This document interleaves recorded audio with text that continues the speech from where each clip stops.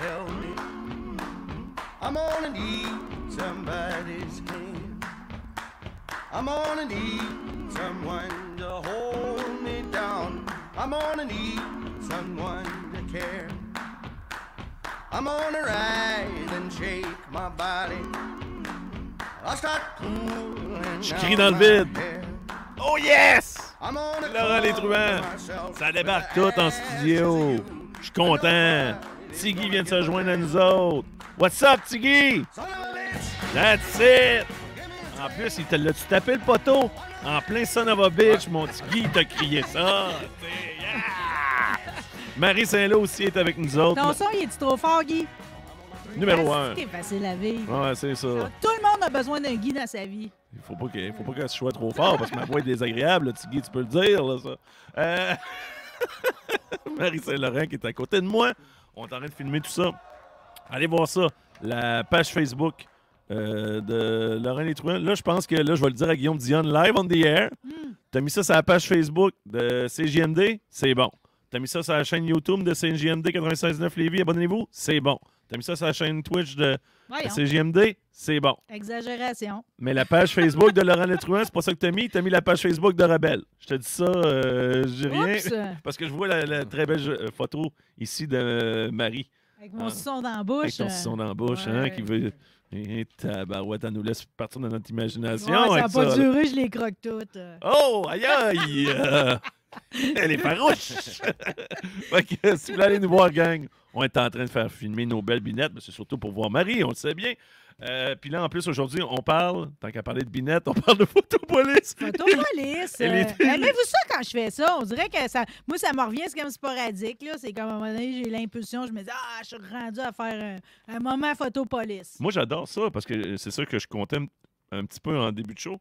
Euh, à l'époque, quand je travaillais dans un dépanneur, c'était les deux seules revues érotiques, simili-érotiques que je pouvais regarder. On n'a plus ça, par exemple. Non, non, on a Non. plus ça. Mais, mais, en même temps, il y a des vraies revues érotiques là, qui sont Non, arrivées je par la sais, suite. mais tu sais, c'est comme j'avais le meilleur de tous les mondes, tu comprends? J'avais les mots croisés, Ouais. j'avais la lecture érotique au centre, plus tout mon univers interlope. Fait que là, c'était vraiment plaisant. Puis Ben, je, vais, ça. je vais leur dire, là, c'est comme, il y a quand même un chanceux qui se faisait faire la lecture dans son garage, là, des histoires au centre. Ça, me manque un peu. Ça me reprendrait un monsieur, Attends, puis ça me reprendrait des pages Oh, au oh, centre. oh. Il y a, quelqu'un qui se faisait faire la lecture. Oui, je faisais la lecture, la petite patte croisée, tu sais, pendant qu'il travaillait dans son garage. Je faisais la ben voyons donc. C'est cool, hein? Oh, oh, sais, oh. Les lectures érotiques, c'est sweet pareil, là. Il n'y a pas un film que c'était ça, que la fille a fait de la lecture érotique au gars, là? Ouais, mais malheureusement, c'est comme faut que tu l'aies de visu parce que souvent on s'imagine que la fille qui fait les téléphones érotiques, Ouais.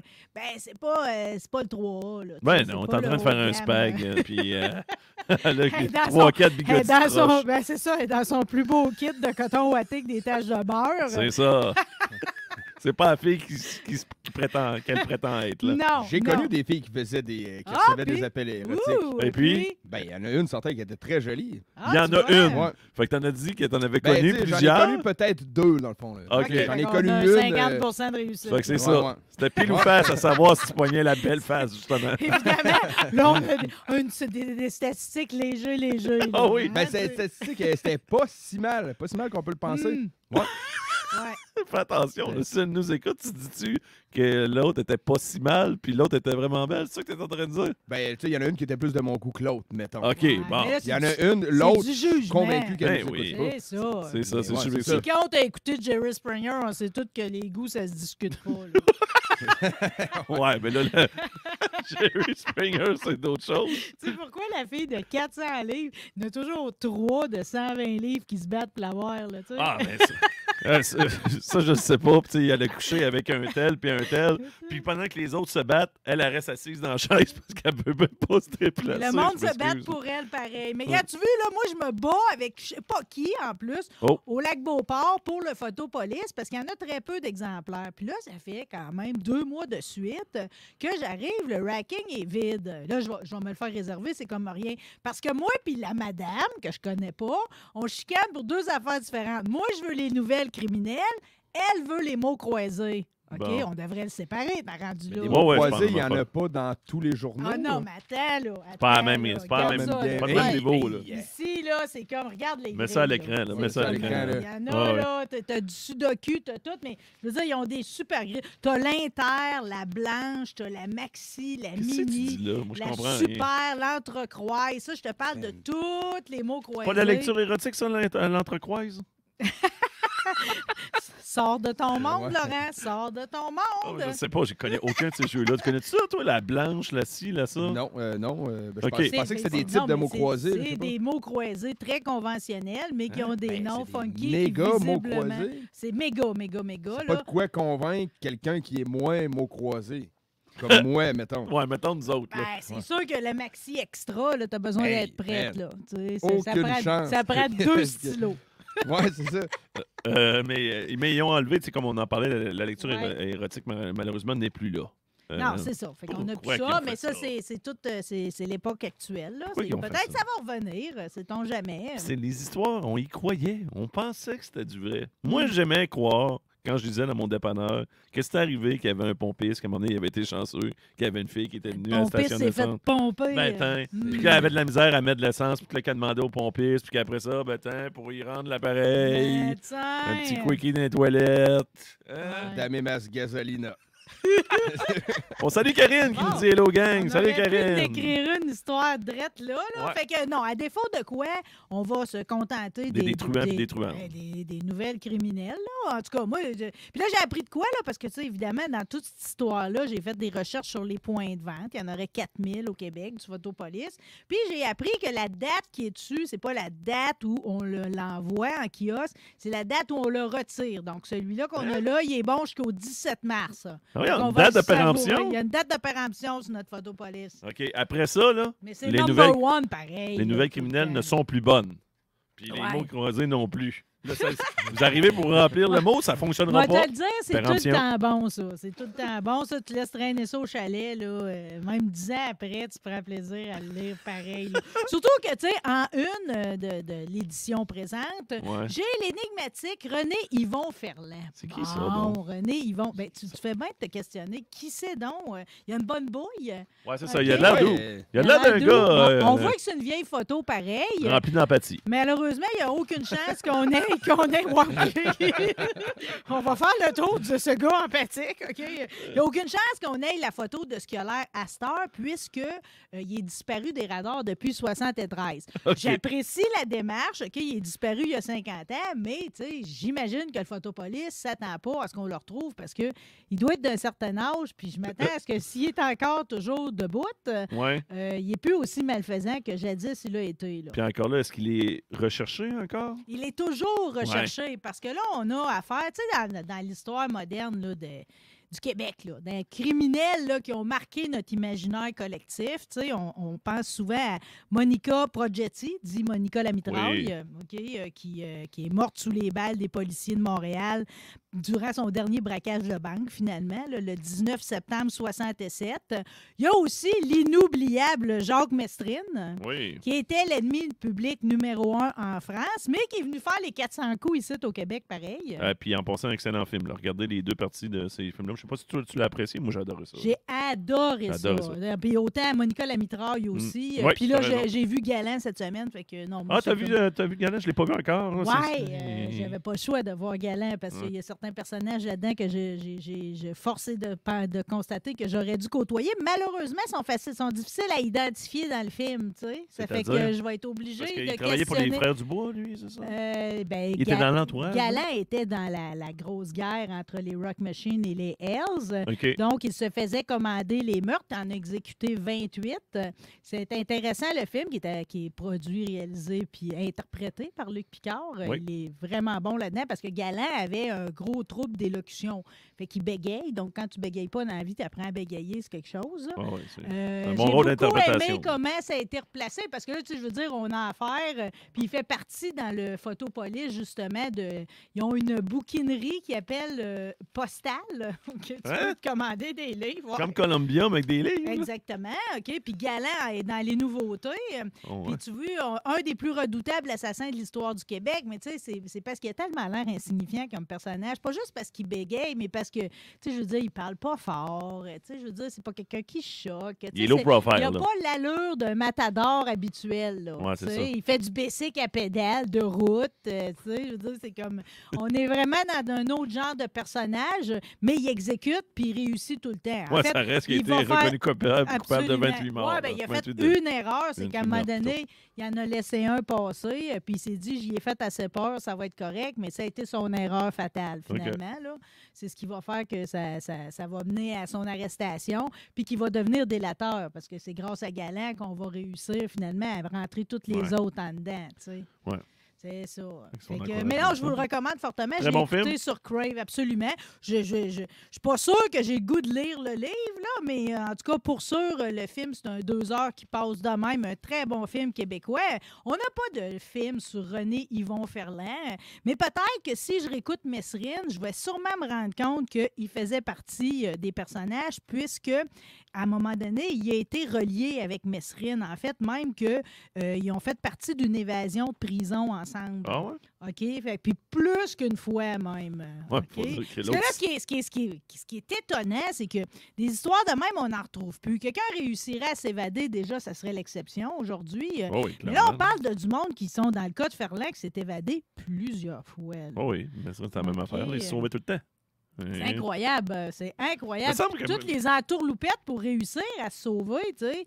Puis de, de- de voir que, tu sais, souvent les avocats même sont mêlés à ça. Puis tout, c'est comme. euh, fallait quand même réussir à planifier tout ça, puis à l'exécuter. Puis, à- tu sais, dans le fond, c'est pour ça qu'il n'a pas été retrouvé depuis 73. C'est parce que sa dernière évasion a été à ce point efficace qu'on ne l'aura jamais repogné, là. Ça fait quand même 50 ans, là. Ça fait quand même s'il y avait 50 30 ans. ans, C'est ça. Mais à, notre, puis- à, à notre défense, là, mettons, là, on prend pour ceux qui les arrêtent, là, pareil, Mettons. euh, mettons, Ouais, là, tu sais, mettons. si on prend le... parce que- le cas. Juste pour compléter là, avec ceux qui nous jouent dans la tête, là, il y a Richard Blas aussi. Euh, je voulais te dire euh, cette semaine, Rémi, que Oh. je vais te bâtir une petite liste peut-être d'incontournables cinéma à écouter. Fait que l'Orange Mécanique trône en tête depuis cette semaine. Ouais, depuis entendu ouais. qu'il n'avait pas écouté Orange Oui, puis j'ai Mécanique. beaucoup aimé la façon dont tu as résumé, c'est-à-dire que c'est un film sur l'ultraviolence, Mhm. euh, euh, c'est qui a changé la donne, je pense, euh, au point de vue cinématographique. C'est un film qui est tiré d'une histoire de Stanley Kubrick, euh, ben, d'un film de Stanley Kubrick, mais qui est tiré d'un autre roman. Puis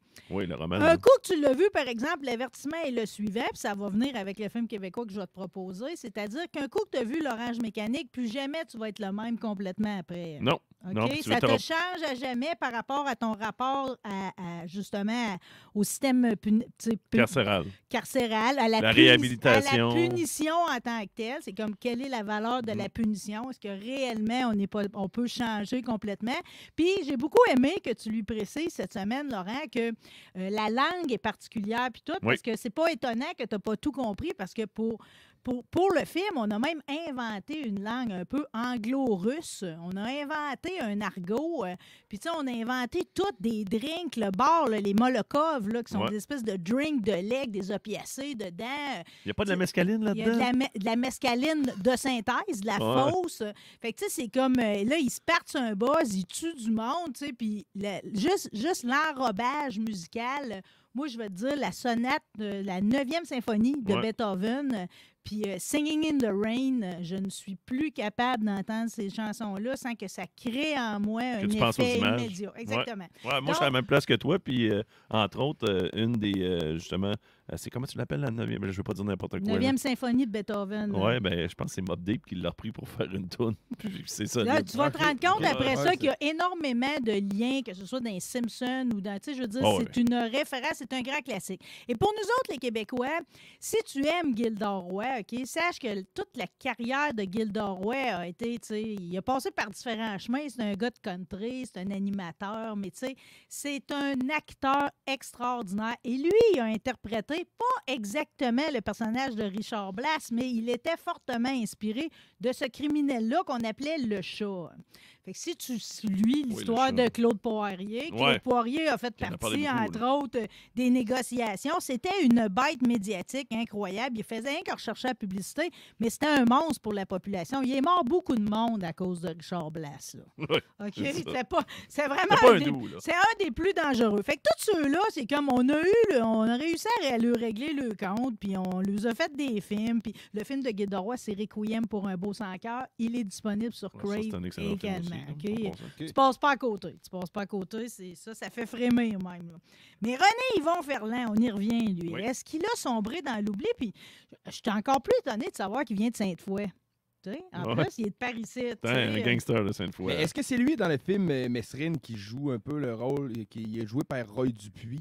Ben écoute, c'est sûr qu'il est dans le film Mesrine. J'ai pas souvenir parce que là, je retombe dans cet article-là aujourd'hui, j'ai pas revu le vieux film. Ah oui, t'as raison. Mais- Le gars avec qui il se sauve, là, le québécois, c'est ça, son- ouais, c'est ça. c'est comme il y, a, de crime, il y a de la violence envers euh, un policier. Je pense qu'il essaie de les intercepter dans la forêt. Là, ouais, puis genre. vont-tu le rendre paraplégique? Je pense que c'est ça. Je pense, mais je pense qu'il tire dessus. Attends, je tout me rappelle pas comment il s'appelle. Mais en tout cas, là, je vais faire Ouais, mon tannant, mais on dit pas Mesrine, on dit Mérine. Mérine, Ah! Je l'ai Excuse-moi. dit juste pour. euh, tu sais, Oh, la petite punaise. On Ouais, de même, là. mais- Excuse-moi. Excuse-moi, je recommencerai pas. OK. Professeur Bien Bégin. fait. S'il y a des cibles, des raies, on s'en parle et tout. OK? Euh, euh, donc, pour ce qui est de Ferland, c'est euh, c'est quelqu'un qui avait un tempérament très belliqueux. OK? C'est un 6 pieds, 220 livres euh, qui, se fait, qui se fait pas piler ses orteils. OK? Ça n'a pas l'air d'être le meilleur tempérament. Sa carrière criminelle a commencé là, déjà jeune adulte dans les années 60. Puis ça va se finir en 73 quand il va disparaître du, euh, du radar. En 71, on va, il y a une requête où on va lui donner un titre. Puis ça, c'est intéressant. Je suis pas sûre qu'on fait encore ça, mais on le qualifiait de criminel d'habitude. Donc, tu y a du Ah, monde Non, on le connaît, ouais, c'est Ouais. ça. Que- criminel d'habitude, je l'entends aussi comme genre, euh, il fait partie tu sais, de quelqu'un qui a Mm. toujours des démêlés. Criminel d'habitude. OK, Donc, criminel la, d'habitude. la- ouais, la Cour pouvait statuer de ça. Donc, on t'identifiait comme un criminel. Rentrait, il rentrait en cours puis il disait Salut Yvon. Ouais, c'est ça.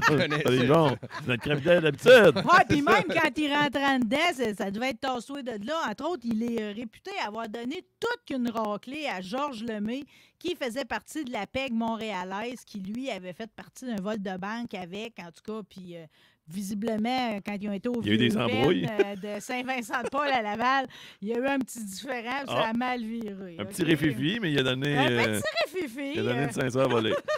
OK.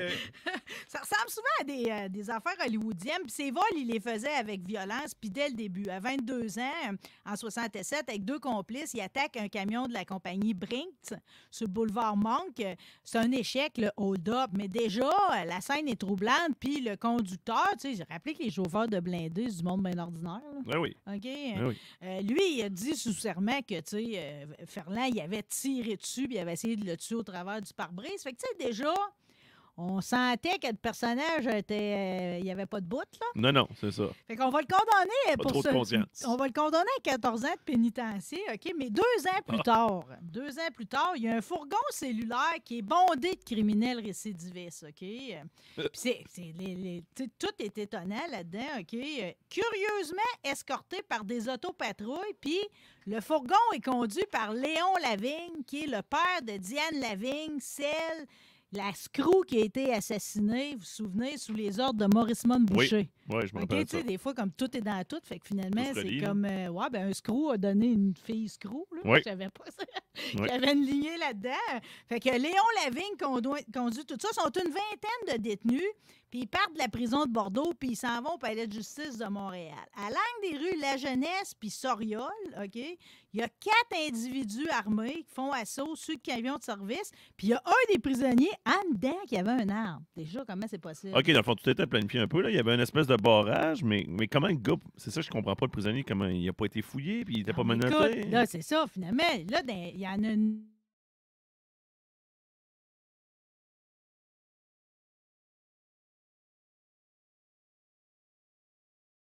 L'homme, là, ils vont en pogner sur le cou. C'est- tout est barricadé, là. Je veux dire, la ville, les appartements sont fouillés. C'est comme. c'est c'est- c'est- on est quasiment en temps de guerre, là. OK? Euh, Fait que là, quelques heures plus tard, Blas, lui, il va se faire, tu sais, ils vont le trouver. Il y a des coups de feu, des gaz lacrymogènes. C'était un peu comme dans le film Le Fugitif, là, avec Tommy Lee Jones. Un là. peu avec Ouais, ça. après, sauf là. que, tu sais, puis ça, c'est comme, euh, ah ben, C'est intéressant de savoir qu'il y en a des de même. On a découvert après ça, quand le directeur de la police a fait son, son speech, là, qui a fait son communiqué, là, Oui. OK, euh, là, il a révélé qu'il y avait des individus qui avaient machiné l'évasion, OK, parce qu'il y avait vraiment une complexité là-dedans, euh, puis que possiblement, il y avait une connivence avec un ou deux membres du barreau de Montréal Avec des membres du bord. pour découvrir que, dans le fond, les avocats avaient demandé à amener au palais de justice euh, les plus gros criminels qui n'avaient même pas d'affaires là ce journée-là pour qu'ils soient dans le fourgon, dont Blas, dont Ferland, OK, euh, sachant qu'il allait y avoir une C'est évasion. ça, pour faciliter l'é- l'évasion puis que ces personnes-là puissent en profiter. Ben, il avait dû empocher du cash avec ça. Là. Puis il va avoir, euh, je sais pas croire qu'il n'y avait pas un policier ou deux ripoux à travers ça, là, dans les gardes ou quelque chose, là, je peux pas croire. Là. Ouais, ouais, ouais. Ben là, déjà, il y en a un en dedans, dans le wagon, qui a une arme. tu C'est sais. ça. C'est ça. Ça fait que, fait que le présence n'était même pas requise au palais de justice. Tout le monde était dans le véhicule. là. Ouais. Ouais, OK. Fait que, fait que là, Fait que les autres, euh, c'est comme s'il y avait leur sentence libérée. C'est ça. ouais, ça va être la, la sentence, ça va être rattrapé, OK? Sauf Ferland, qui s'en sort bien Il y pareil. en a un qui a réussi à se sauver. Exactement, OK? Parce qu'au fil des semaines, on les rattrape tout un après l'autre. Le seul qu'on repogne pas, c'est Ferland. OK. Fait que. Puis là, rappelez que dans les années 60-70, on s'en est parlé l'autre jour euh, dans le cas des Irlandais, tu sais, que j'ai ri à, à pu finir parce qu'ils démembraient du monde la traque de chemin de fer. Tu ça? Oui, oui, je me rappelle. Je le refais pas. Tu te remets à rire. C'est pas drôle, rire. drôle? Ouais, pour se débarrasser des cadavres, on les mettait sur les. Trop l'âge, il n'y avait pas de César dans le temps, les démembrés, fait qu'ils prenaient la traque de chemin de fer. Puis j'imagine qu'ils redéplaçaient le corps pour attendre le prochain, tu sais, démembrer l'autre bord. Cas, Ouais, c'est ça. me ça. Mais, ça, c'est un peu plus long. mais tout ça, c'est le char. genre- Ben, Ça devait. pas d'outils, je veux dire. Ça devait être éclabousant, pareil, là, non? Ah, mais tu t'éloignes, tu mets ça là, tu recules un peu, tu reviens, bon, pogne ton bord. On fait 90 Pogne ton bord! Enfin, Pogne ton bord, ça fais par exprès pour revenir sur de quoi qui n'a pas rapport dans notre histoire, mais je vous avais mentionné que dans les années 60-70, Montréal, c'était vraiment en Amérique du Nord. C'était là qu'il y avait des vols à main armée, plus que dans les grosses villes comme Philadelphie, Chicago, Saint-Louis. Est-ce que c'est ici que ça se passait? Est-ce que c'était parce que c'était plus facile? Ou est-ce que. Ah, c'était dans notre culture. On l'avait. On l'avait dans nous autres. Euh, C'était hein? inné. C'était inné. Ah ouais, donc, les coureurs des bois qui sont rendus qui volent des banques. Il était bon pour sauter d'un- tronc d'arbre à un autre. On est bon pour euh, hein, voler à l'aide de. Donc, quatre mois après l'évasion, Ferland réapparaît avec cinq autres personnes. Ben voyons. OK, dans un vol de banque de la Banque canadienne nationale qui avait été aménagé dans le centre commercial de Place Drummondville. Bon, qui qui aurait cru que ce là Place nous amènerait à OK. Drummond? OK, dans le centre commercial. Donc, Ferland, qui est activement recherché, il fait partie. Tout le monde arrive là, ils cagoulés, ils sont armés, les revolvers, des pistolets mitrailleuses, tout, tout le temps pratique dans une histoire de même. Ben, c'est ça. Ce qui fait Faut que. être bien équipé. C'est ça. Fait qu'ils volent 52 000 On dit qu'en équivalence, aujourd'hui, c'était de bien 400 000 Bon, c'est bon. Bon, Ah, ben, c'est bon. ben, tu le sépares. 71, tu dis? On est en. un petit peu. Ouais, on est en 73. Parce que 13, là, il va sortir. Il va Ah, sortir. moi, je dis ça au moins, ça, 400 C'est 000. sa dernière apparition à Ferland. Je vous vends déjà le punch, là, parce que dans le fond, Ouais! l'affaire, c'est que, tu sais, c'est comme. Dis Ils, ont bien pensé à leur affaire. Ils ont, en premier, ils, ils se poussent avec une voiture volée, puis plus loin, plus ils vont avoir une voiture qui est correcte vis-à-vis de la loi. Sauf que ce qu'ils n'ont pas pensé, euh, puis que personne n'aurait pu prévoir, c'est qu'il y a un camion de la voirie municipale qui fait le déneigement. euh, qui va être bloqué aussi, qui va bloquer le stationnement du centre commercial quand ils vont venir se pousser qu'il y a une magot. hein. Puis le char volé. Puis ils sont volés. Ouais, ça ouais. fait que là, dans l'énervement, ils là. vont rentrer dedans. Ouais. OK? Euh, Ça fait que là, entre-temps, le monde, ils ont appelé la police. Fait que là, il y a deux agents qui débarquent. Ils vont- Ils vont rentrer dans le truck, là, Ouais. dans le Ouais. sens fonce dessus, il va On va peut-être... foncer Ben dessus. là, il, ouais, il va se tasser. On va y rentrer dedans. Ouais, ouais, mais il y a une chose, il y a plusieurs mauvaises décisions là-dedans, comme les agents qui vont débarquer. Je comprends qu'ils ont leurs armes de service, mais qu'est-ce que tu veux faire contre des truands avec des mitraillettes? Non. Mauvaise idée, ça aussi. Sais, Ah, ah, fait un mauvais il- réflexe. Il y en a un pareil là, qui, euh, qui va y en perdre ses jambes, justement, euh, Douglas, euh, va devenir paraplégique. Ça fait que là, il y a deux cambrioleurs qui vont se, pogner, deux qui vont s'emparer de l'autopatrouille. Ça, c'est un classique si tu veux passer à l'histoire. Ouais, tu prends le char de Je flic. pensais que t'allais dire le, le truc de déneigement. Ouais, c'est ça. c'est Ça ça. aurait eu une ça, touche d'originalité ouais, hein? intéressante. Mais plus- low profile. à que- chauffer, tu sais, ça te prend un petit bagage pareil. Là. Ouais, parce que Ouais, mais c'est s'il y a un pour- autopatrouille en avant de toi, un tosse-bœuf, tu C'est sais. ça, ça le tasse bien. Puis, tu sais, pour passer low profile, tu déneiges. Comme si Non, puis je te maudis pas pourquoi, mais c'est mentionné que quand ils sauvent avec l'autopatrouille, ils abandonnent en cours de route de leurs armes, puis même une part du magot. Il y a un 18 000 pièces qui revole, tu sais. Mais pourquoi? Je sais pas, Le char n'est pas- plus léger. C'est dans le temps que dans les autopatrouilles, tu avais le 12 à pompe qui était entre les deux sièges d'en avant. Arrête donc. euh. Quand on...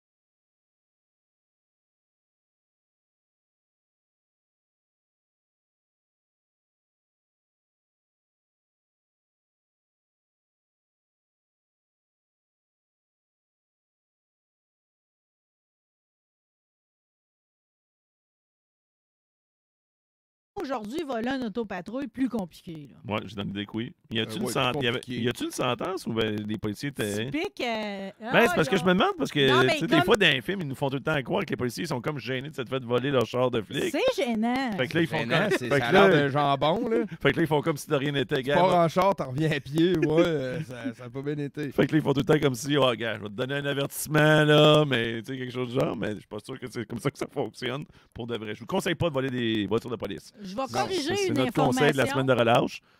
Les jeunes qui nous écoutent, ça- vous allez passer peut-être à l'histoire, Ouais. mais Allez traîner aux Galeries de la Capitale à la place. c'est ça. Voler une, une voiture de police, c'est non. C'est non. OK. C'est non. Euh, je veux juste corriger pour la date, là, parce que c'est 70, parce que dans le fond, il va se sauver un autre coup. Parce que là, les cinq, euh, il y a encore juste Ferland qui va se sauver, OK? Mais ils vont leur pogner, OK? Un peu plus tard, ils vont se mettre la main au collet. Puis là, il va être condamné à la prison à perpétuité. Bon. OK. Là, c'est moins le fun. Ah ben ça dépend. C'est encore une occasion de faire un exploit Ah, assez unique. de se sauver genre, encore. OK? Un an et demi après avoir été condamné, OK? Il est devenu le premier prévenu à s'évader du nouveau et quatrième palais de justice de Montréal. Pour, par- pour parvenir à son exploit? Il s'est déguisé en gardien. Fouille-moi comment, OK? Ouais, c'est ça. Il a Avec- trouvé où le linge? avec une arme à feu dissimulée dans son pantalon. Puis une fois qu'il était rendu dans le palais de justice, OK, euh, il s'est mis à chicaner avec les autres gardiens. Comprends-tu? Comme, fait que là, de l'œil extérieur, t'as comme des gardiens qui ont une mésentente. hein. OK. Mais dans le fond, c'est comme ça. Il a juste permis de sortir dehors, pogner un taxi, puis dans sa course, il s'est arrêté chez l'abbé. Quoi faire? Il a rentré, ouais, c'est la rue Sainte-Catherine, OK? Il a disparu à l'intérieur du commerce, OK? Il a franchi les portes tournantes, puis il s'est évanoui dans la nature à jamais. hein. Oh, OK, il est rentré bravo. dans le labé Ouais. puis on l'a jamais revu. Jamais revu, mais on sait comme Mérine. C'est peut-être l'abeille, par exemple. Mérine, peut-être je l'ai bien l'abbé. eu, là. Là, je l'ai Oui, bien tu l'avais eu, ouais. Ouais. Euh, on Ça sait sonne comme Mérine l'oreille. qui avait, qui avait une capacité euh, euh, hors de l'ordinaire à, à- à se, à se modifier au niveau de la physionomie. Regarde, tu vois ici, tu as toutes des versions de Ferland, là. Tu sais, fait que, avec des lunettes, pas de cheveux, C'est ça, les cheveux ouais. longs, puis Ça tout, ressemble tu sais. quand même, là. Fait que, euh, écoutez, j'ai... C'est drôle, en bas, là, il a l'air de Bubble dans Trailer Park Boy. Fait que j'imagine que c'est à ce moment-ci que ma chum, Mademoiselle Fils, qui est styliste aux Galeries de la Capitale, dirait que présentement, il y a des grosses ventes chez l'abbé, puis que si vous avez à vous transformer, OK. c'est là Puis que ça se passe. ouais. si vous avez à disparaître dans la nature, là. En ce moment, Si vous retrouvez là. Ferland aussi, là. Tabarouette chez l'abeille. Ouais, ça serait gros, là. Ferland, Hey, t'imagines-tu? Jeune, jeune. hein.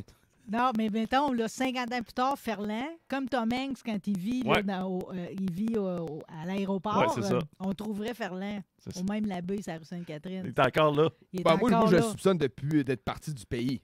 Tu Bon, t'arrêtes chez la tu t'arranges avec un styliste, là, t'arrêtes là, tu changes Ben de oui. style. Tu sais. C'est sûr qu'il est Il parti. y a plusieurs théories, rumeurs, comme de quoi Il il serait aussi. en allé aux. Il y aurait déguerpi aux États-Unis, puis il aurait rejoint là-bas une organisation criminelle américaine. Il y en a d'autres qui pensent tout qu'il est vraiment allé chez nos voisins du Sud, mais qu'il aurait été assassiné, tu sais, un règlement se de c'est ça. Il est Il des- part en périphérie de Las Vegas, dans le désert. On l'a jamais Le revu. réchauffement planétaire, il va sortir son Il n'est canard. pas resté en territoire québécois, selon vous autres. Là. Non, je pense pas. Non, moi, je pense pas convaincu clairement de- qu'il est parti. Mais moi, le bout, Ah. c'est moi le bout qui s'est qui s'est déguisé en, en, en- en screw, dans le fond. Ouais. Qui s'est engueulé avec les autres. Les, la puce à l'oreille des autres, ils ont pas comme fait Hey, euh, le gars qu'on a qui on jamais s'engueule. vu, Je t'ai jamais vu. T'as-tu tes? Ouais, c'est ça. Puis en plus, il s'engueule.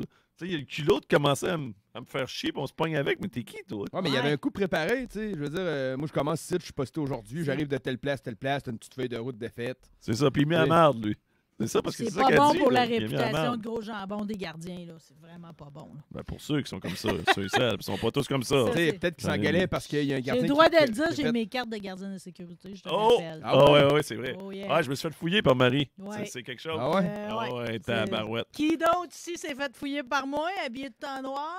Euh, ah, c'est non. pour vous autres. Mais j'ai j'ai- j'ai déjà eu ma carte, moi aussi. J'ai Mais je vais te dire une affaire, quand euh, quand t'arrives en avant de la gate, t'as d'affaires à faire fouiller, t'es tous belle de me choisir moi. Il y a Ouais. plus de Ben chances oui. que ça passe. Ouais, ouais. C'est sûr que je t'aurais choisi. Peut-être Laurent et tout. Laurent, on a l'impression qu'on pourrait plus passer Ouais, ben stock. oui, c'est ben sûr. oui, c'est sûr que ça va bienvenue pas. au centre Vidéotron. Bienvenue. Ça me tente pas, là. Vous allez peut-être être pognés à me jaser, mais c'est sûr que je vous fouillerai pas. OK.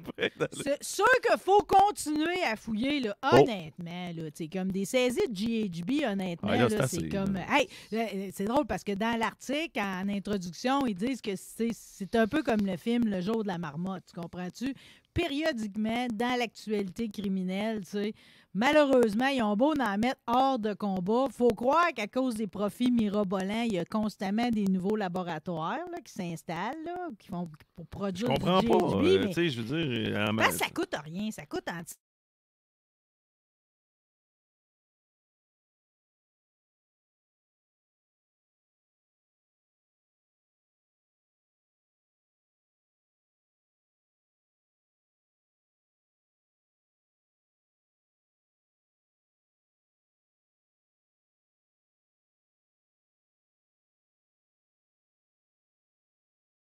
milles de mon char. Là. Puis je me souviens d'avoir monté là, euh, tu sais, simili à quatre pattes les marches, là, à toute vitesse. Mais c'est des bribes, là, dans ta tombé mémoire. dans mon lit. Ouais, Ouais, c'est des ça. bribes de mémoire. Moi, une amie aussi, ça y est arrivé la même le chose. là. sale. Ouais, c'est ça. Un cave. Ouais, Ouais. c'est ça. Faut- Faut-tu être dégueulasse? Il Ouais, a mais il devait être de connivence avec la serveuse en plus. Tu penses ça, toi? Ah, Ah oui, ah ben oui, parce que c'était mon drink, tu comprends? J'ai pas accepté le drink de quelqu'un d'autre. là. Ouais, mais mettons, lui, il en Euh, ouais. profite qu'elle a le Ben là, lui, il euh, arrive avec me ton drink, c'est ça. En Ouais, c'est ça.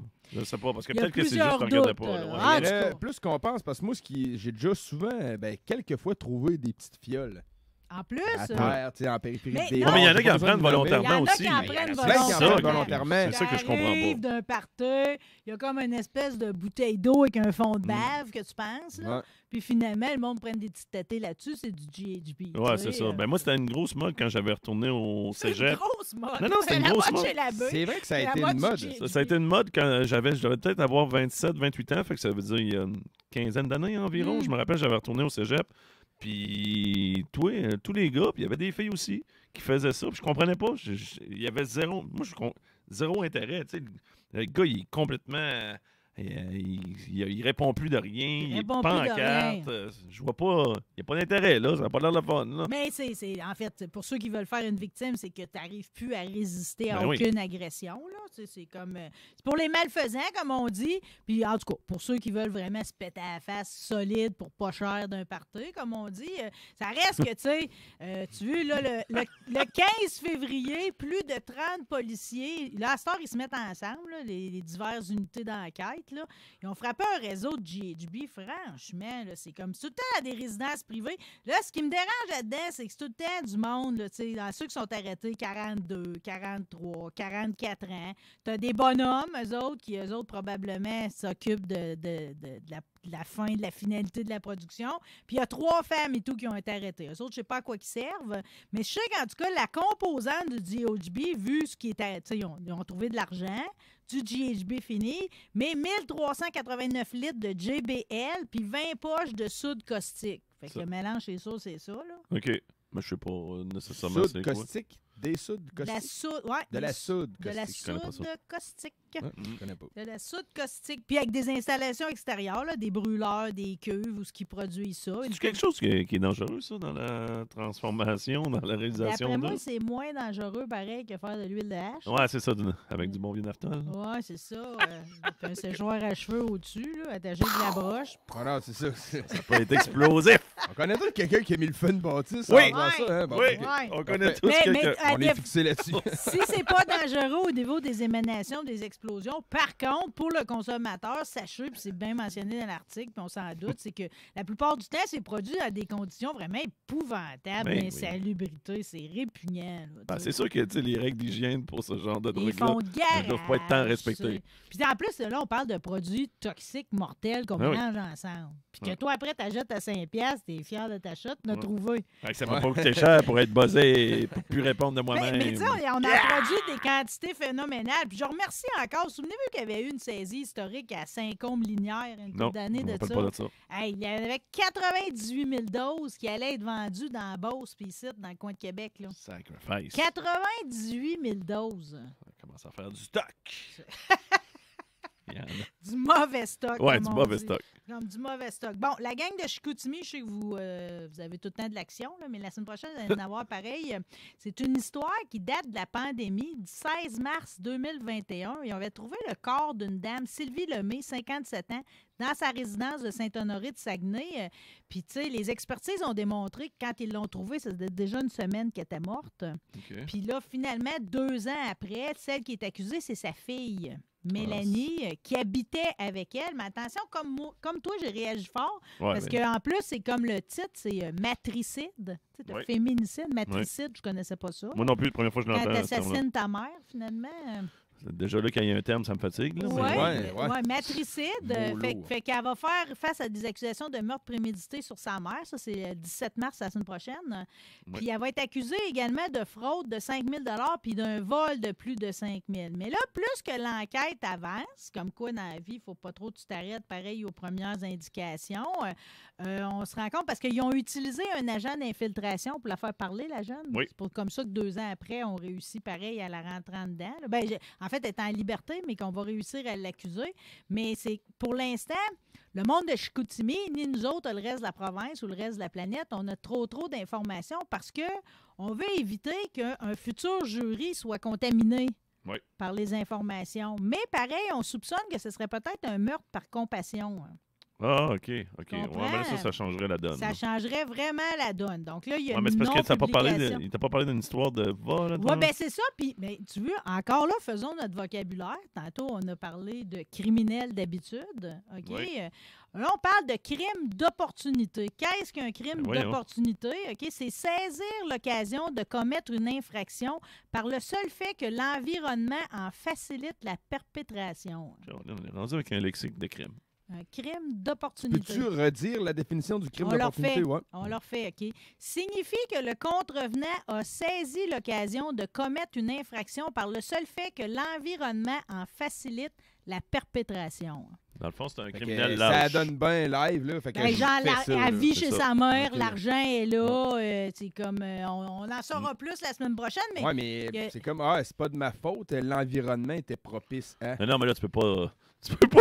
Non, non, mais on comprend disant- plus? OK, c'est juste Ouais. pour cataloguer un peu Ouais, la sorte de crime, ouais, tu ouais. comprends? Non, ça, tu peux pas justifier en disant. crime Ben d'opportunité. Non, je suis pas sûr que tu peux c'est en pas le bâtir. criminel Tu peux pas dire... en bâtir ta défense. C'est Ouais, ça, c'est ça, ouais. Puis là, Laurent, arrête de prendre des notes. Là. Ah il n'y a pas de. Non, mais il y a un portefeuille qui traîne, là. J'ai pris de- 200 pièces dedans, j'avais pas le choix. L'environnement me facilitait la chose, personne ne le voyait, puis il y avait un portefeuille c'est un ouvert. peu, c'est- ça, fait que ça sera souvent peut-être pas prémédité comme crime si c'est... euh, Ben oui. Ben, c'est comme l'argent est là, je suis parti avec. Là. On avait Mm. besoin, je l'ai pris. T'es pas rentré en disant je m'en vais voler de l'argent, t'es rentré, t'as constaté qu'il y avait de C'est l'argent pas qui traînait. prémédité, C'est selon ça. toi. Ben peut-être, là. Je...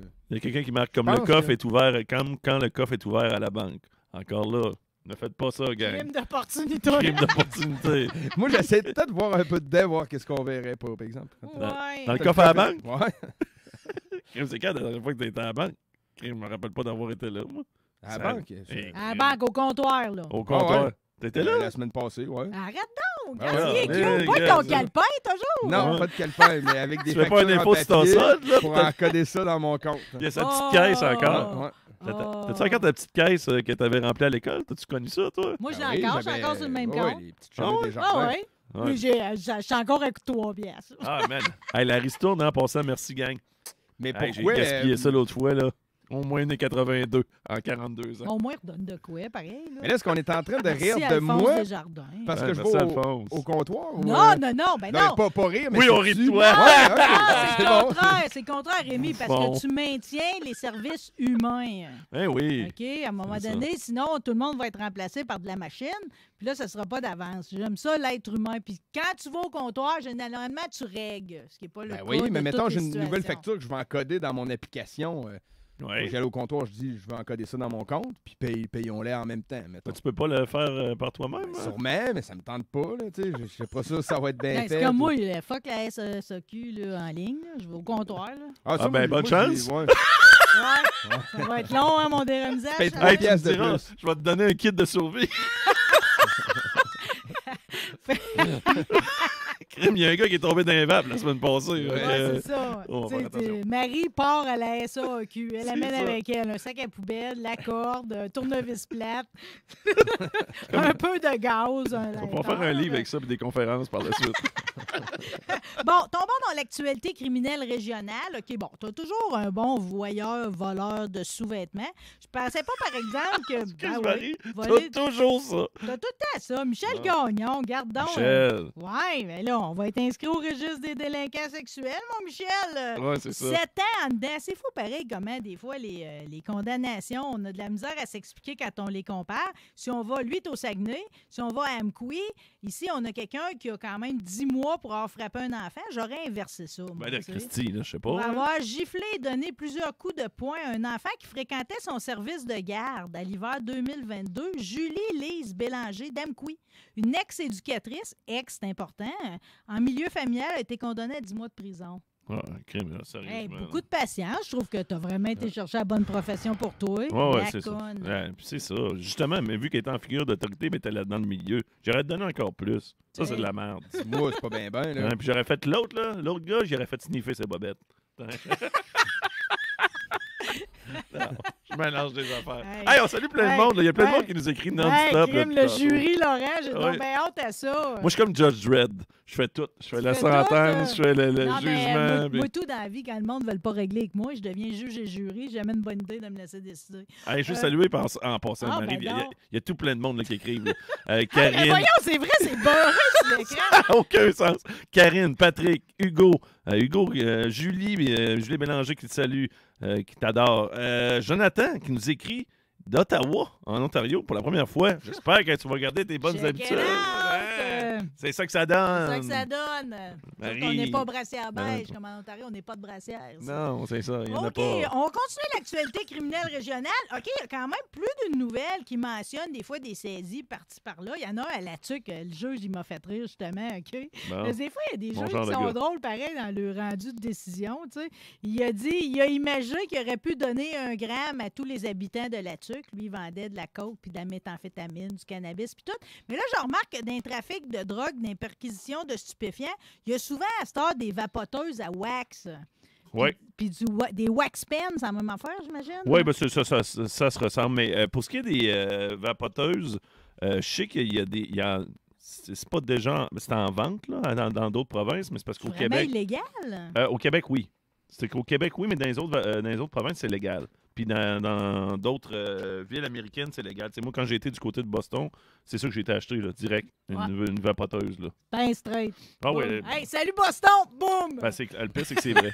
Mon chum et moi, que je salue, là, on est arrivés, puis notre première affaire qu'on a identifiée sur notre Google Map, Ouais, ouais. c'était d'aller Ben euh, pour acheter différents produits de cannabis. Et euh, puis en plus, là-bas, eux autres, ils te le vendent à côté. C'est pas comme ici. Là. Puis euh, la personne m'a dit ça, c'est une baisse. Une vapoteuse. Fait que comme ça, en plus, dans l'hôtel, ça paraît pas si tu prends quelque part dans la salle de bain. Fait que, euh, ben, pas quelque part. Ben, anyway, tu pars la douche plus, le, Ouais, mais t'as pas besoin de ça. plus la fan. Avec de la vapeur, là, je te dis. C'est Ah, c'est encore plus simple Ah. que ça. Fait que Regarde s'il y a des informations utiles ici aujourd'hui. Ah oui, c'est ça. Bonne semaine de Euh, relâche. OK, ça fait que. Salut, Waxpen, les enfants. Euh, à Victoriaville, on a quand même euh, quelqu'un qui, euh, qui, qui, qui se fait venir la livreuse de médicaments chez eux OK. et qui l'accueille, OK, vêtu juste d'un T-shirt puis le gland à l'air, pas de bobette. OK. OK? Fait que là, je- probablement qu'avoir été livreuse, j'aurais fait pareil face à Eddie Lavoie, OK? Fait que c'est comme, elle a dû vouloir faire comme si de rien n'était. Puis là, il l'a interpellé, puis il a dit T'as pas vu que j'étais nu? Ben voyons. OK, lui, il vous laisse flasher. Il a là. insisté sur son cul ça, à l'air. Ouais, c'est ça. Le ben. pas vu que Ouais. C'est déjà. Dis-toi que c'est parce qu'elle a dû faire euh, forcer pour ne pas te regarder parce que déjà qu'elle est là, elle doit faire bon, asti, il veut se Ah, montrer de moins non. Puis, ultimement, que t'as- tu sais, que tu réitères que t'es nu, ça deviendra pas plus gagnant, là. Non, non, non, mais non. Qu'est-ce qu'elle peut répondre, là? Ah, c'est ça. tellement ça, moineau. C'est moi, comme un j'aurais- mélange de badminton avec le bout du gland. Moineau, c'est merveilleux. Moi, j'aurais fait bravo. Bravo. Il est beau. Il est beau, ton petit bout de peau. là. Il est beau. Bon, période de probation d'un an. Euh, bon, Lui, ça, période de probation Ouais, d'un an de quoi? ça, faut qu'il garde ses bobettes. bobettes. Garde tes bobettes, mon Ah, Eddie. C'est ça. Euh, bon, euh, je, je m'épargne tout mon discours éditorial que je pourrais faire sur Courteau, là, le gars de la. De, de- J'ai Courteau? Ouais, le cave, OK. Mais, euh, mais je vais te dire, j'ai pas d'enfant, OK, puis j'ai, pas eu à dealer le fait de il veut jouer au hockey ou il veut, jouer- il veut pas jouer au hockey, OK, mais certainement, c'est comme j'aurais pas tant voulu que ça parce que il y a toujours un cave pour ternir le sport. là. Encore une fois, trouver coupable d'abus sexuels sur une victime d'âge mineur, en plus Ah, d'avoir agressé son ex-conjoint. Non. Ouais. Ancien président de l'équipe de hockey du Collège français Ouais, de ça. Longueuil de la Ligue junior C'est un 3A, autre, là. Normand Brunet, 62 ans, 8 ans de pénitencier. Non, mais c'est l'ensemble, tu comprends? Ça s'accumule tout le temps. T'as mais pas je- ça dans le monde du snow, là. Ouais, non, non, non, ça, Hein? je, ça, je suis d'accord avec Hein? toi. Puis, euh, c'est juste qu'on joue à l'autruche. Moi, c'est ça qui me fatigue. là. On fait hypocrisie. Courteau, hein. Ouais, mais il est, il est en plus il... Ben non, mais Chris, il... Il s'en va. il- pendant que le bateau coule... Ouais, mais il s'en allait, Marie, pense-y. Il finissait la- l'année, là. Fait que lui, s'est dit, hey, là, ils vont. Parce que là, c'est sûr que là, ils vont. non, ils vont faire- inacceptable. Ben, moi, ça je pense qu'il est tout pas tout seul. passé sur son Je suis règne. d'accord, mais il n'y avait pas juste lui. Coupable. Ok, ouais, gars, là, Mets on, on en fait. mets tes bobettes, Courteau. On en fait, on en fait notre Judge Dredd, là. On est en train de devenir juge, on Ouais, fait tout, là. juge et jury. Juge et jury, mais ce qui arrive, Marie, puis moi, tu sais, je dis pas, j'exemple pas Courteau, je l'avais blâmé euh, plus tôt dans, euh, il y a peut-être une semaine ou deux. affreux. Mais euh, comme je dis, euh, tu sais, là, on s'en servait un peu d'escape-goat, que j'appelle. On le tire en dessous du boss, mais il y en avait tout plein de propriétaires, puis tout le kit. Ils vont puis- tous s'en sauver. C'est ça, c'est ça. C'est parce que lui, il s'en allait à la fin de l'année, là. Hmm. Fait que lui, Marie, il s'est dit, tant qu'à me faire chier, puis là, tout le monde va me- tout me mettre sur le dos. Merci, bonsoir, je m'en vais. Fait que c'est ça qu'il a fait. Take là- the money and run. That's right. Fuck Courteau. Euh, les policiers de Lévis essayent de localiser un suspect. OK, c'est sûr que le portrait robot nous en dit pas tant. Là. On va le montrer. OK. Ici. On le voit un peu. Ouais, ouais, c'est celui en bas, là. Ouais, c'est lui ici, là. OK, remonte-le encore. Ah oui, là, on le voit, là. Ouais, comme ça. euh, lui, il s'est qui, choqué. lui? Il s'est choqué après un déneigeur de la ville de Lévis. Moi, j'ai vu ça se passer. Mais tu Ça va-tu, toi? euh, non, ça va-tu? euh? Ouais. Ouais, ça va-tu? Près Respire, des là. rues Courseul et du Calvados à Lévis. Homme au teint pâle, environ... C'est sûr, là, on est en hiver. là, OK? Euh, environ 40 ans, 5 pieds 5. Su- Des bonnes chances de, le gro- de le voir sur Facebook Rencontre. 5 pieds 5, 150. Syndrome de Napoléon, il s'est fauché après la gratte. C'est bon, j'ai un Brachon-Rue. Colin. Ouais, mais gars, donner un truc, là. Si t'es fâché, là, comme ça, après un déneigeur ou bien quelque chose, là, va prendre un bain, là. Va te- Mets-toi Ouais, mais on s'est verre fâché comment? Il est sorti puis il a bourrassé le, le- le Ben, je- il a bourrassé le, le déneigeur comme tel. Je me demande, il, il a pas fait de quoi? L'employé. Il, il a-tu essayé d'atteindre? Je pense qu'il a essayé de, de le Il, soigner. il était en train de, de d'effectuer. En fait, il a fallu qu'il arrête la charrue pareil. Là. il Ouais, était en train de déneiger. Là. J'ai pas plus d'informations, mais c'est un suspect. Puis la, la mention, c'est violente agression. C'est ça. C'est ça, ça, bon. il l'a agressé. Parce que dans les recherchés, tu as les thèmes. là. Tu as les disparus, tu as la porno juvénile. Ça, souvent, c'est qu'on cherche des victimes. OK. OK. Tu as les gens en liberté illégale. Puis t'as, t'as les, les violentes agressions, les vols qualifiés et tout. Il y a de OK. tout, là. OK.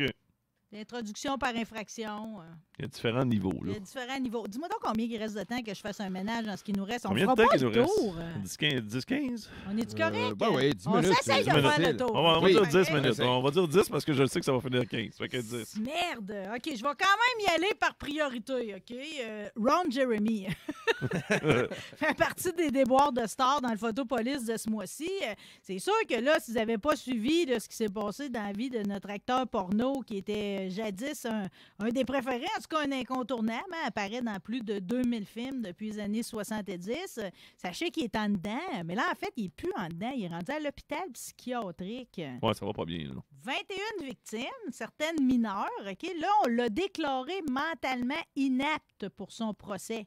Ils ont demandé à des experts psychiatriques de, de, de, de, de passer, de l'évaluer. Mais les dernières fois qu'on l'a vu, là, tu sais, déjà qu'il y en a plusieurs qui diraient qu'il était pas si beau que ça, là, Ron Jeremy, mais là, il était Jamais rendu. été beau. Là. Ouais, mais là, il était rendu. il- Tu sais, il faisait peur, là. Tu sais, c'était rendu. euh, Ouais. il- il- ça allait pas bien. Ouais, mais là, ça peut pas bien aller. Là, là ça, on est rendu à 30 chefs de viol, inconduite sexuelle. Il a été condamné, pareil, sur une période. Tu sais, ça s'est tout passé sur une période de 23 ans dans le coin de Los Angeles. Il a plaidé non coupable, OK?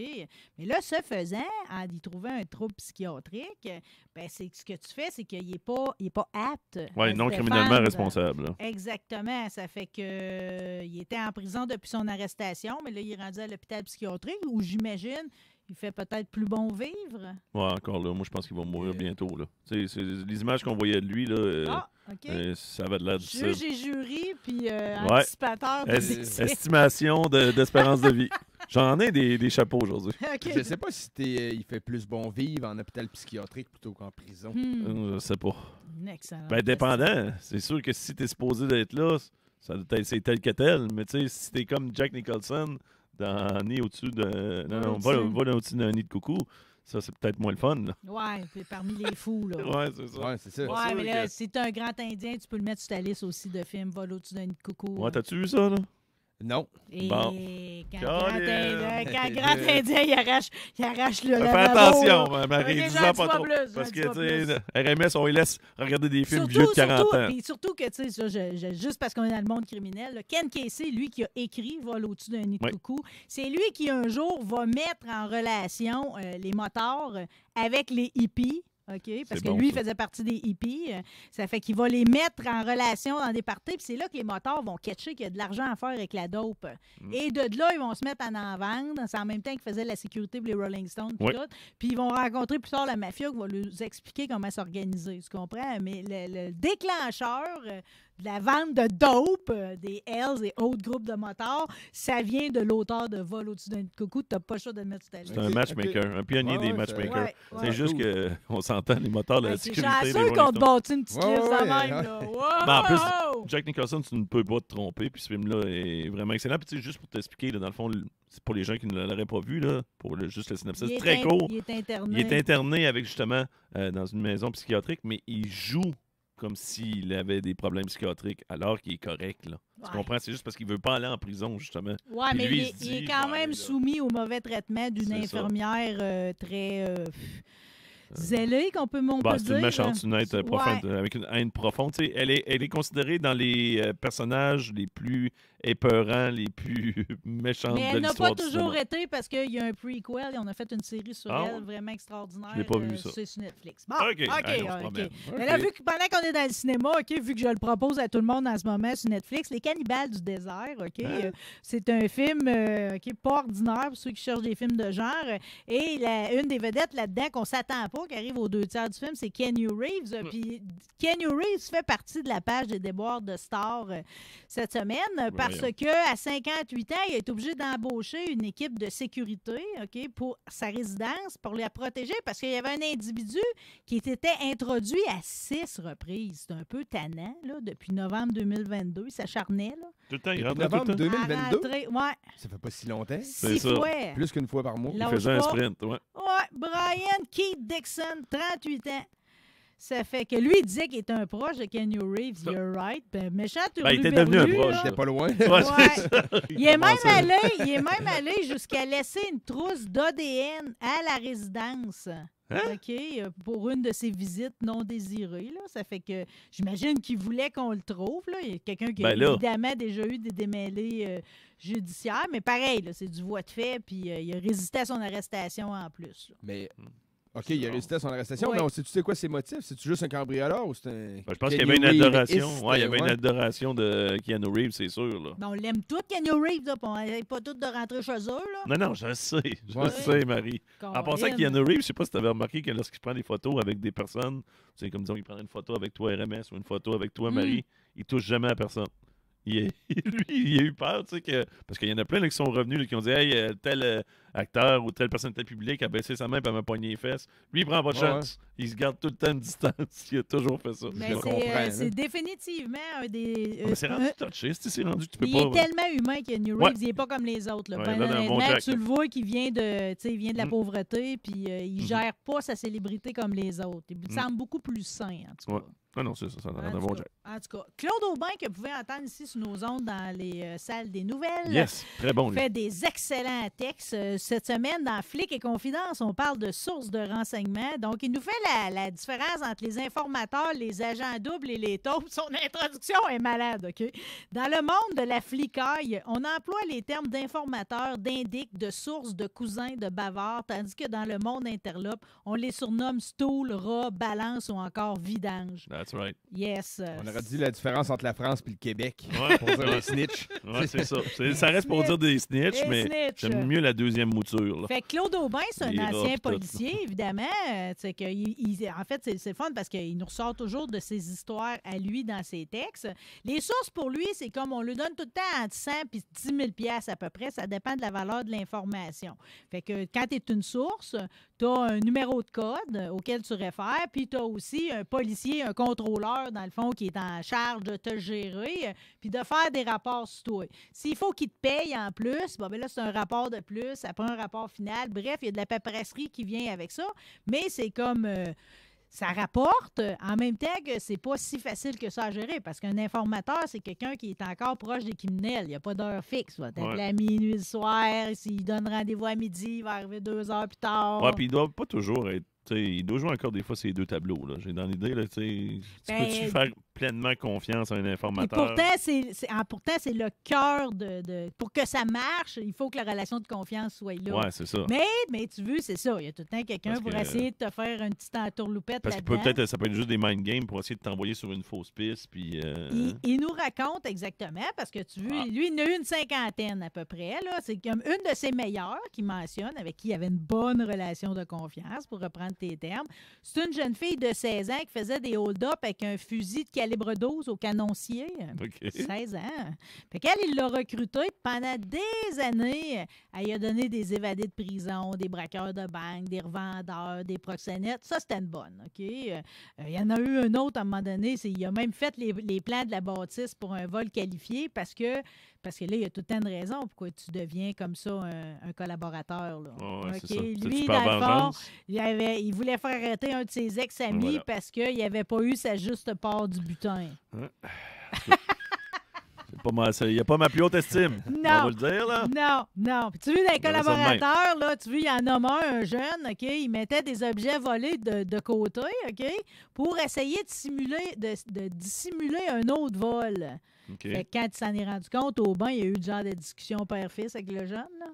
Parce que c'est important, là. La Ouais. question de confiance, là, comme on s'est dit. euh. Oui. Fait que ça, c'est des collaborateurs. Mais tu as les agents doubles aussi. Euh, Oui. Les agents doubles, eux autres, c'est des policiers infiltrés, tu sais. Fait qu'à cette heure, ils peuvent acheter des stupéfiants. Maintenant, ils peuvent aussi en vendre. Hein? La Cour leur a permis de faire ça. Ça fait-tu longtemps? ou- Ça, c'est assez récent. Mais il devait se le permettre, là. Tu sais, à l'époque, Ben, Denis Brasco puis autres, là, tu sais, que- tu sais, ils commençaient pas à... Oui, à niaiser que Hey, ça. euh, non, euh, gang, là, tu sais, tout d'un coup, ça, il, est, il est rendu hyper impliqué.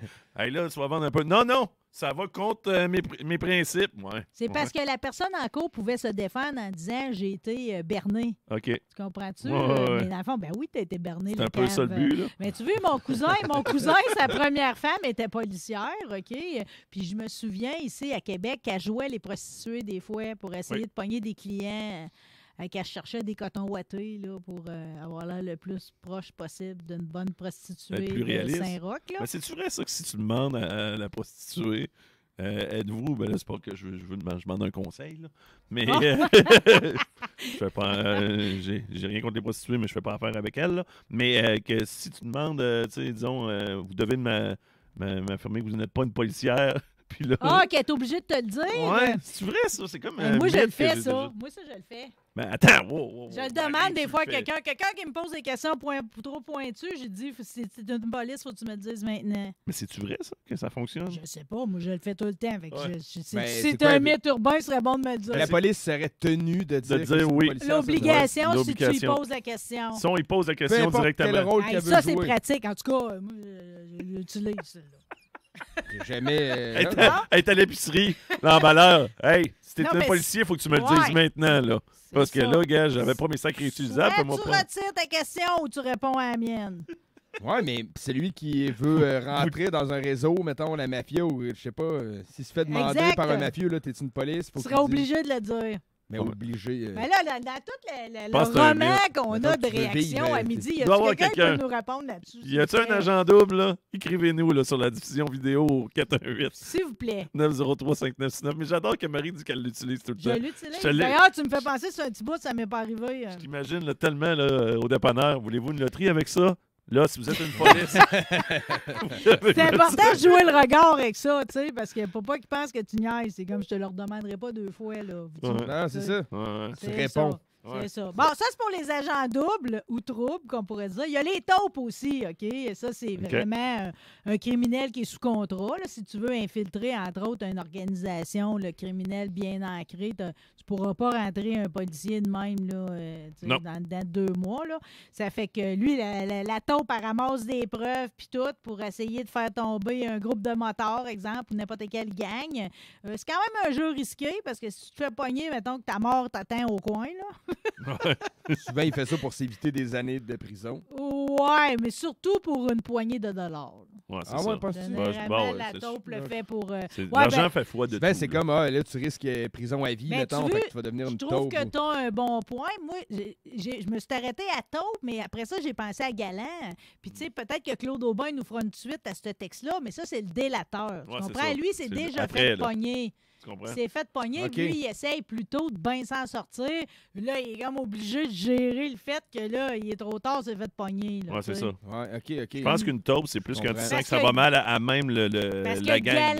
il aurait jamais trahi les autres s'il n'avait pas été pris dans le coin puis qu'on n'avait pas eu des C'est ça. aveux du petit jeune qui avait laissé partir par compassion un soir. là. Dans le fond, quand on utilise nos termes, tu sais, snitch, puis rat, je pense que c'est plus quand tu t'es fait pogner, tandis que taupe, c'est plus, disons, que tu, je sais pas, là, tu sens que ça va, ça va mal virer. là. Un peu comme dans. Goodfellas, là, quand tu pensais qu'elle allait se faire passer avec sa femme, il était considéré comme une taupe. là. Moi, je le vois plus de même. Hey, là, Marie, par contre, il va falloir que. Maudit. il va falloir que- euh, Ben, on va regarder, on va faire une deuxième partie. Ben non, arrête. Ben oui. Arrête Il donc. te reste euh. plein de stocks, puis on n'a même pas commencé les mots croisés.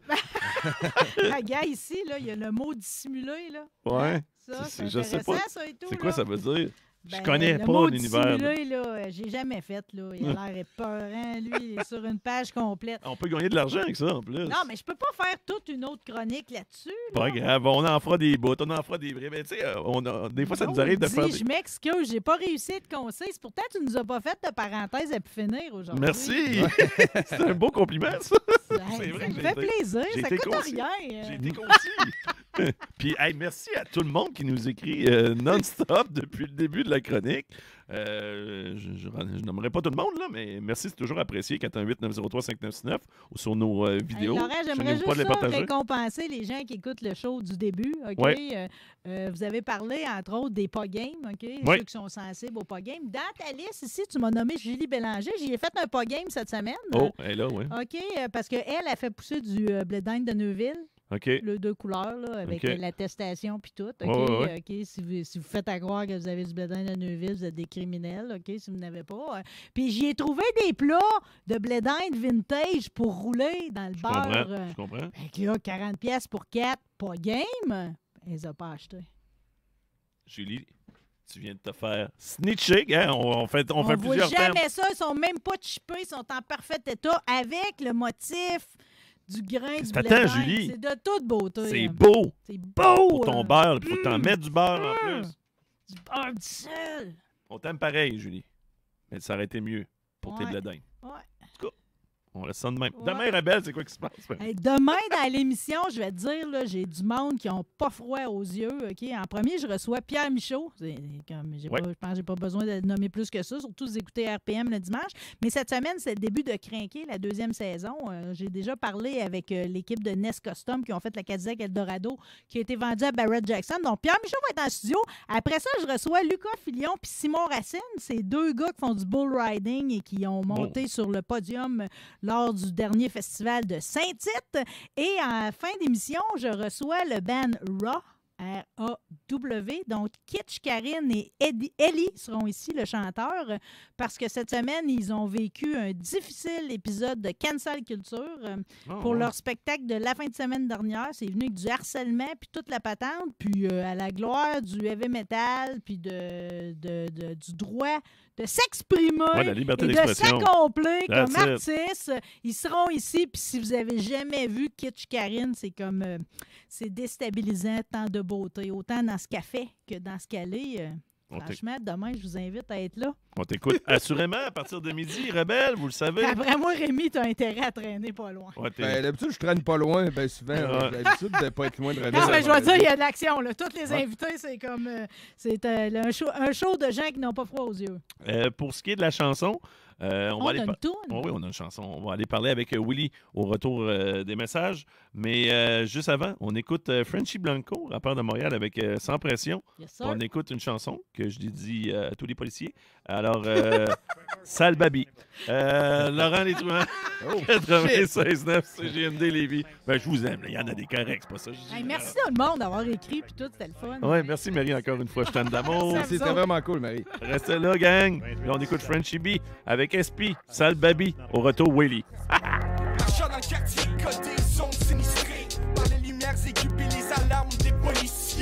Rien à régler